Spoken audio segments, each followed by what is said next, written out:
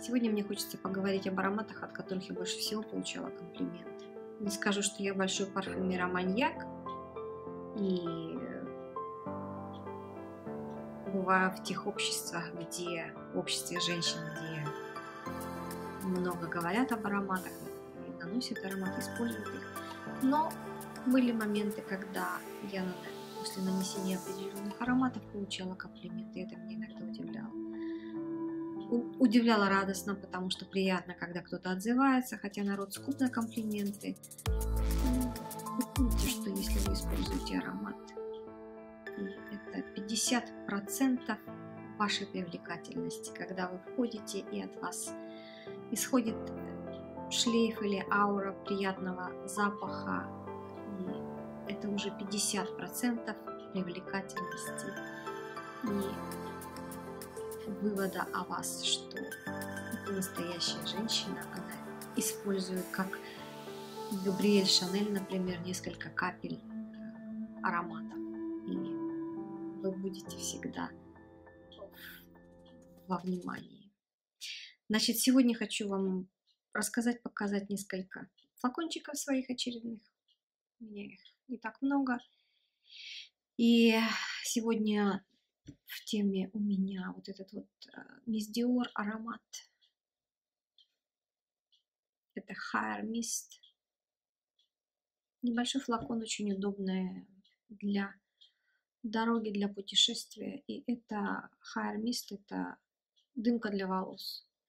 Дымка для волос очень нежная, приятная.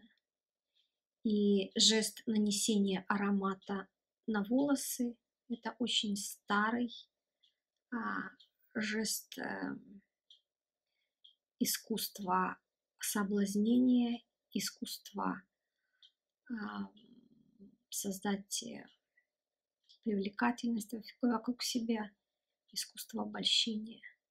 Достаточно несколько капель э, ароматов на волосы, несколько пшиков, и после того, как вы движете головой, и ваши волосы начинают э, э, двигаться и создавать вокруг ауру приятного аромата. И следующий аромат, который бы я хотела вам представить, от которого я тоже получала комплимент, это э, аромат от Versace. Кристалл Наир. Вот так выглядит это. Этот флакон. Такая блестящая надпись на черном, флак... на черном флаконе вот с такой огромной крышкой, как кристалл. Действительно похож на кристалл. И этот аромат от Versace, это, это волшебство. Это действительно волшебство. Я его берегу, я его не так использую много. Тут у меня тут уже видно, что он довольно-таки еще много, но я его что-то использую в последнее время не так много. Видимо, не было таких случаев, куда бы я могла его наносить. Но аромат этот, волшебство, это многие пишут, что это на фрагрантике, это лучший аромат от Versace, Кристалл Ноир. Сюда входят такие ноты, о которых я вам сейчас расскажу. Это топовые ноты или верхние ноты. Это имбирь и, кар и кардамон, а, гордения и кокос.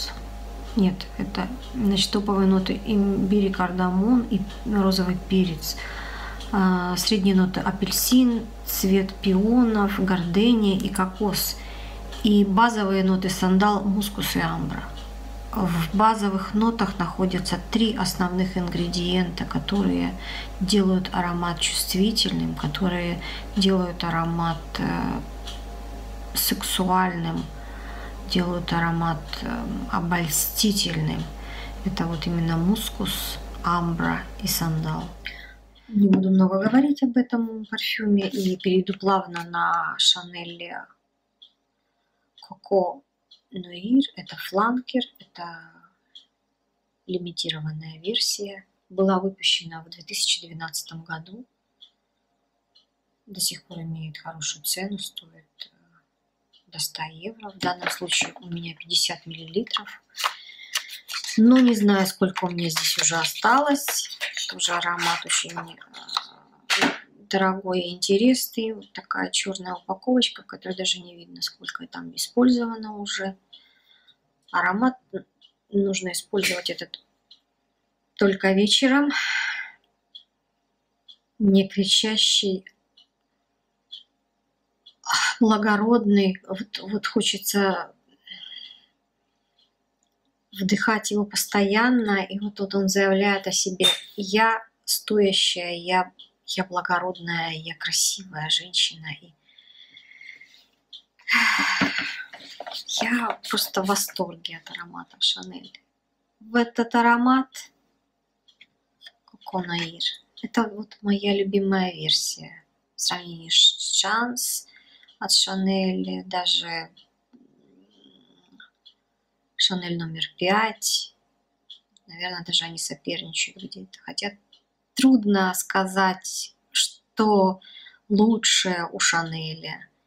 И сейчас вышел новая, новая, я еще не пробовала, не тестировала, но хочется интересно узнать, что за Габриэль Шанель.